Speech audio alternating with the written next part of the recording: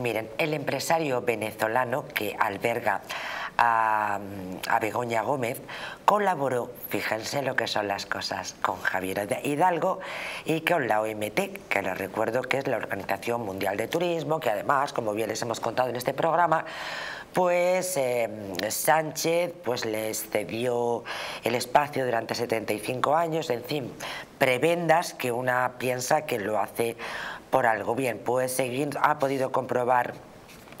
Vox Populi, la firma de capital venezolano, fue uno de los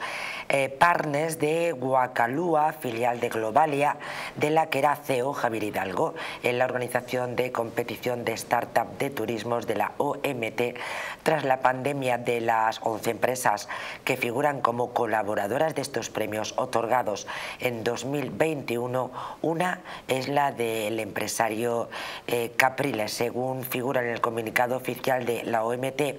Las startups que ganaron aquella edición tuvieron ocasión de mantener conversaciones con todos los socios de la OMT que colaboran en la competición, una oportunidad que abre una vía a la ejecución de posibles proyectos pilotos susceptibles de generar un cambio real y un establecimiento, bla bla bla bla bla bla bla bla bla bla. Pero aquí tenemos nuevamente el triángulo el triángulo perfecto y si fuera poco la imagen de la UCO que acorrala a Barrabás, su consultora, ah. disparó sus contratos públicos Ojo, durante su relación con Begoña, la UCO señala con claridad a Innova Next, una consultora de Carlos Barrabés, el hombre al que benefició Begoña Gómez con sus cartas de recomendación para concursos públicos. ¿Recuerdan, verdad?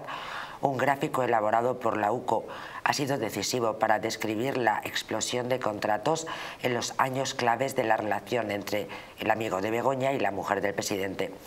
Se trata del gráfico que publica un diario Libertad Digital y que refleja un auge en un año de 141 veces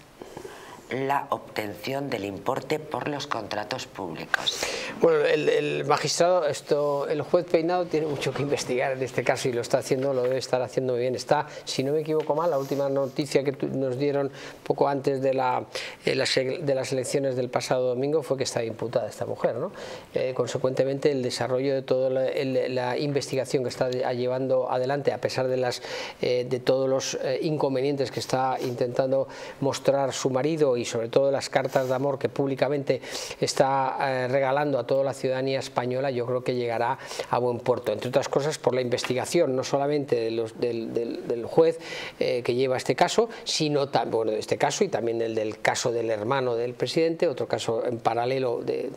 la familia, digamos, sino también de los medios de comunicación que siguen con determinación la investigación de todo un proceso que lleva a, por lo menos a conferir la sospecha de que se aprovechó evidentemente de su cercanía con el presidente de gobierno para ejercer y para eh, ayudar a, sus entornos. No sabemos hasta qué punto, hasta qué nivel, pero lo, está, lo, vamos a ver. Afortunadamente, lo que estábamos reclamando desde el principio del programa, que es la consistencia de las instituciones y sobre todo la fortaleza de los eh, juzgados y de nuestros jueces, vamos a ver si realmente sostiene, eh, sostiene el, el juez peinado no solamente la presión del gobierno, sino la presión de muchos medios de comunicación que le están poniendo en una, em, eh, en una diana permanente, que es, eh, es absolutamente sorprendente.